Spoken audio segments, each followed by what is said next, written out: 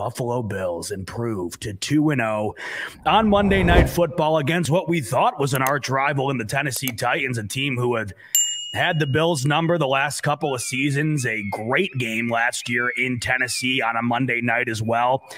Josh Allen slips, falls, the Bills lose by a field goal. And uh, the year prior, Bills just flat out got their ass kicked at home in a COVID game, no fans. And, uh, you know, it really felt like going into this one, it was part of that revenge tour, right? The whole season, there's different elements within each game that you look at. Obviously, the Chiefs, of course, in a few weeks will be one of those games. The Steelers in a couple of weeks. Hell, this coming week in Miami, the way their fans are acting, every game we can find something to, you know, extract from as fans, as a team in the Bills in order to get extra motivation. This one, though, it was just, you know, it was, they wrote itself.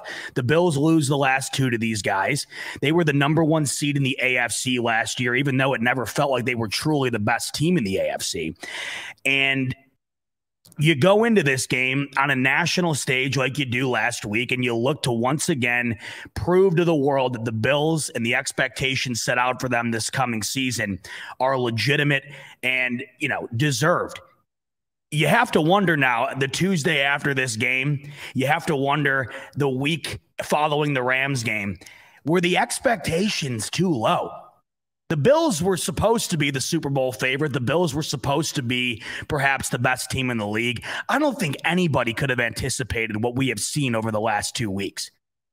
I mean, this is it, it is absolutely insane, absurd. I don't even know how to put it into words what we're witnessing. The Bills have now beaten the reigning Super Bowl champions and the former number one seed in the AFC by a combined score of 72 to 17. It's not like they're taking the Jets to the woodshed. It's not like they're taking the Jaguars behind the, the shed out to the woods. I mean, we're talking about the class of the league here. Uh, so you thought. We're talking about the team who hosted the Lombardi a couple of months ago. A team in Tennessee who beats the Bills the last two outings and gets the number one seed in the AFC last year. I don't know if we've seen anything quite like the way the Bills have started these first two games of the season. We've seen teams dominate. We've seen teams come out of the gates hot. I don't think we've ever seen anything quite like this.